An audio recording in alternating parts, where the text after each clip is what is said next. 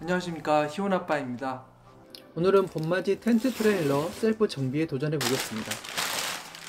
저는 이렇게 카트리지가 있는 그리스건으로 구매를 했거든요 이렇게 세트로 해서 팔더라고요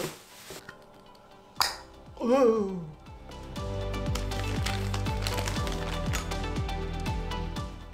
그때에 노즐 파이프를 체결하고 밖으로 나왔습니다.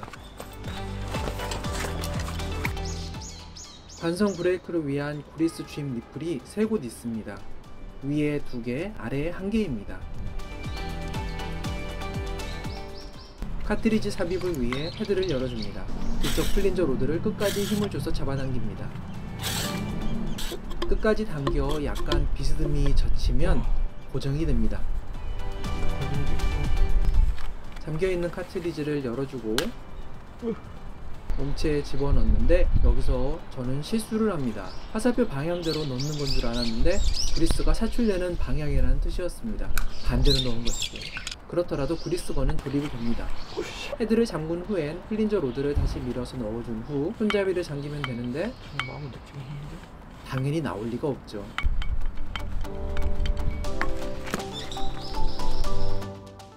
이리저리 만지작하다가 아예 고장을 내버렸습니다.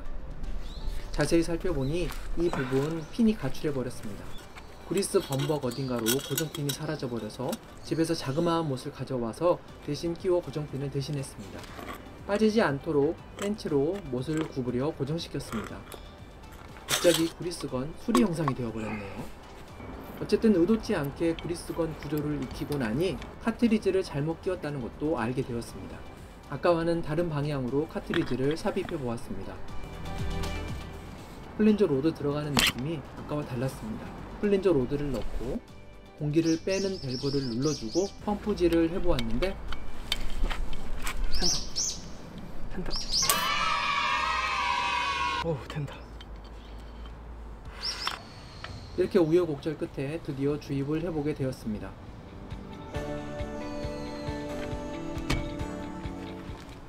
약 5에서 10회 정도 펌프질 하라고 하던데 니플마다 10번씩 해주었습니다. 사실 2년 만에 처음 주입하는 거라 6개월에서 1년에 한 번씩 넣어주는 게 좋다고 합니다. 아래 부분은 파이프 관으로는 주입이 불가능했습니다. 어떻게 하는 여기는? 대지가 아니면 여기는 나중에 별도로 고무 굿즈를 구입해서 주입해 주었습니다. 다음은 녹 제거입니다. 언젠가부터 쇼바 로드에 녹이 생기기 시작했습니다. 인터넷에서 구매한 녹 제거제입니다. 적당히 흔들어서 착착 뿌려줍니다. 그러자 바로 녹슨 부분이 붉은색으로 변하며 녹아내립니다. 다 되면 물을 뿌려주고 약품을 씻어냅니다. 저는 걸레로 깨끗이 닦아 물기를 없애준 후 방청 윤활제, 일명 뿌리는 그리스로 마무리해줍니다. 다른 쪽 쇼바도 작업해 주었습니다. 보니까 견인볼도 이렇게 녹이 생겼더라고요. 같은 방식으로 또 작업을 해보았습니다. 견인볼 상태가 저러니 트레일러 커플러 안쪽도 녹이 상당히 묻어나왔습니다. 여기는 녹 제거제는 쓰지 않고 녹을 열심히 닦아낸 후 뿌린 그리스로 다시 뿌려준 후 다시 닦아주기만 하였습니다. 뻑뻑해져서 소음이 나는 아웃트리거입니다.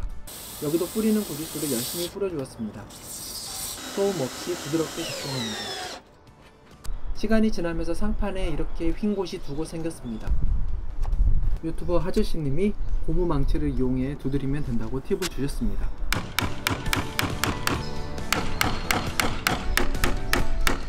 한참 힘 조절을 하면서 두드리니 정말 튀어나온 곳이 들어갔습니다. 다른 쪽도 작업해 주었습니다.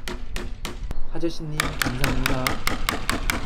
지금까지 기계치의 트레일러 정비 도전 영상이었습니다. 혹시 부족하거나 잘못된 점 있으시면 댓글로 조언 부탁드리며 도움이 되셨다면 구독, 좋아요 부탁드립니다. 트레일러 관리 잘 하시고요. 항상 안전하고 즐거운 캠핑 하시길 바랍니다. 시청해주셔서 감사합니다.